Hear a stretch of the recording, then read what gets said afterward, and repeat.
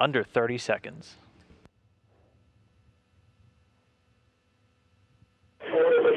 Есть пуск, бортовое питание. Order sequence initiated. Зажигание кислорода. We have auto sequence start. Oxygen. Предварительно. The engine's igniting, the launch command issued. Again, the engines will fire, ramping up towards flight speed Engines at maximum speed. and liftoff. Peggy Whitson, Oleg Novitsky, and Thomas Pesquet rocketing towards the International Space Station.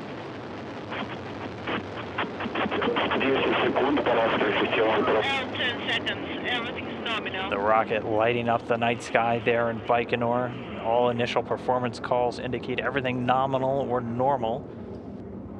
First stage delivering 930,000 pounds of thrust through those four boosters and the single core engine. First stage measuring 68 feet in length and 24 feet in diameter. It's going to burn liquid fuel for the first two minutes and six seconds of the flight.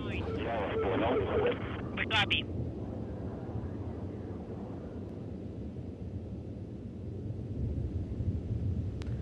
Everything continuing to look steady, straight as an arrow for the Soyuz as it continues to rocket off again, launched right on time at 2.20 p.m. Central, 3.20 p.m. Eastern.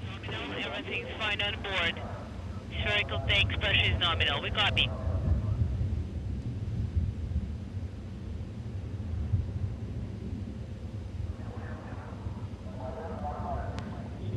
Over 70 seconds, 1 minute, 10 seconds into the flight velocity of the Soyuz, now over 1,100 miles per hour. 80 seconds into flight control and motion control systems are working nominally. Everything's fine on board. We copy. Thrusters of the second stage are working nominally.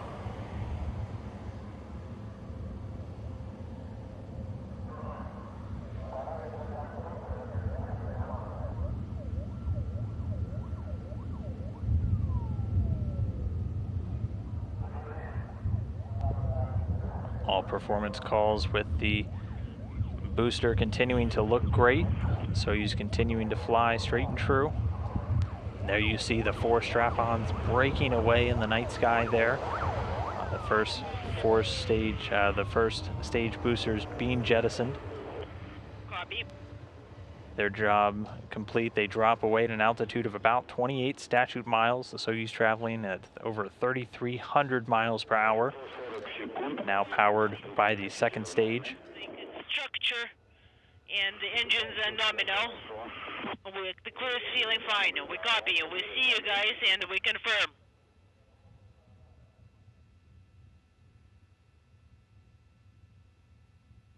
Есть спрос головного обтекателя. Есть провальный спуск отрицать. Fairing, jettisoning. Confirmed. Copy. And so at this point, the launch shroud has been jettisoned. The Soyuz now exposed to the air and soon to space. The rocket at an altitude about 48 miles high. On the um, on the second video camera the descent. Getting a wave there from NASA astronaut Peggy Whitson making her third journey to the International Space Station. Five five. Seated just next to Russian cosmonaut Oleg Novitsky. At this point, the Soyuz traveling at a speed of about 4,700 miles an hour.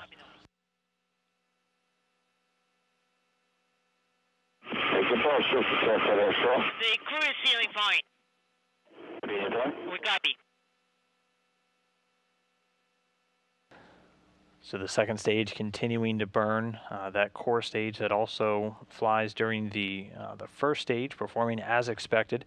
That core stage, 56 feet in length, 13 and a half feet in diameter, has a single engine with four fuel chambers and is uh, providing between 178,000 and 222,000 pounds of thrust, depending on the altitude, uh, for its three minutes and 28 seconds of operation.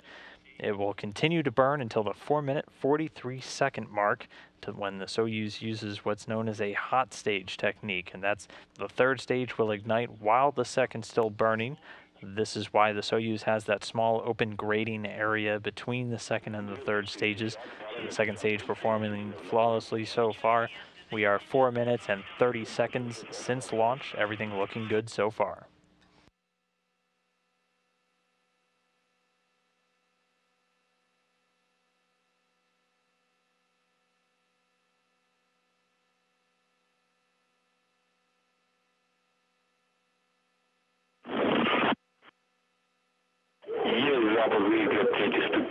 We confirm third stage engine activation. We copy.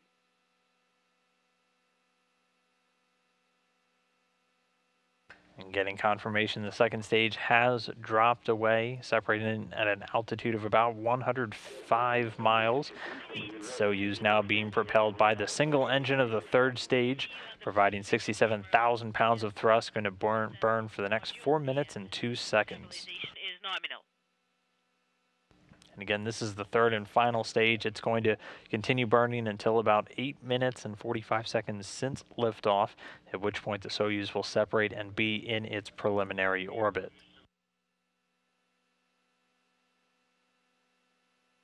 Three hundred and forty seconds into flight. All motion control systems are nominal. Everything's fine on board. Bobby.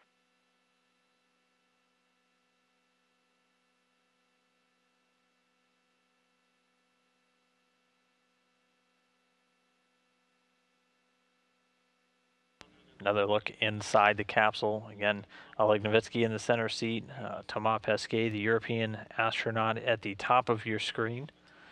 This Pesquet's first flight, the second Soyuz ride uphill for Oleg Novitsky. Everything continuing to go smoothly with the launch, which rocketed off on, on time at 2:20 p.m. Central Time. Six minutes 30 seconds since liftoff. Copy.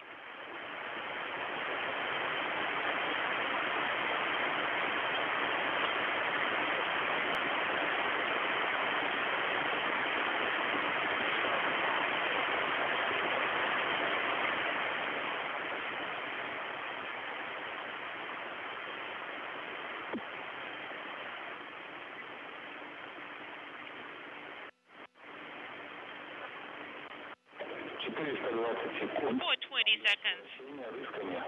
Roll, pitch, and yaw are all nominal. Everything's fine on board. And we hear you 5 by 5 and we see you on the video camera.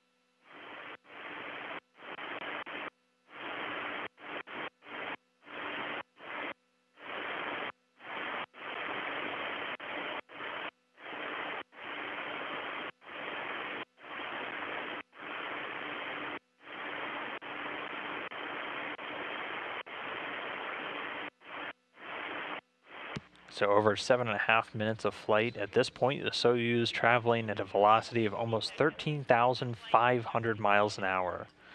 So there's just a little under a minute left in powered flight. Once the third stage delivers the Soyuz to orbit and the module separated, those pre-programmed commands will be executed, preparing the Soyuz for orbital operations. Uh, all of these allowing the Soyuz systems to be automatically activated by on onboard computers at precise times stored inside.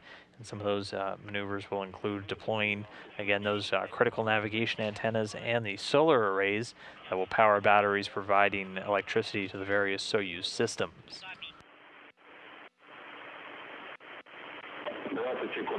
Twenty seconds till contact separation.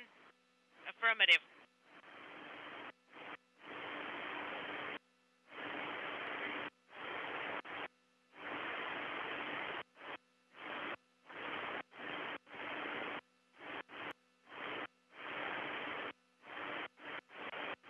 And seeing the telltale jolt there, that means the third stage has cut off and separated. Separation. Contact. The confirmation coming from the folks in.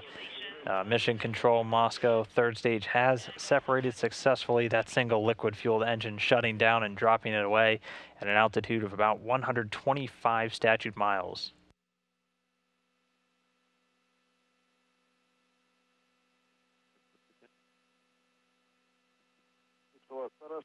And already getting confirmation from the visiting vehicle officer here in Houston. All of the different uh, communication and navigation antennas have deployed along with those two solar arrays. So we have confirmation of spacecraft separation, deployment. The Soyuz now orbiting at an altitude of about 143 by 118 miles. And that orbit's going to be raised systematically over the next two days as they chase down the International Space Station. Control of the spacecraft from here on out will be overseen by the Russian Mission Control Center just outside of Moscow, but for now, safely in orbit.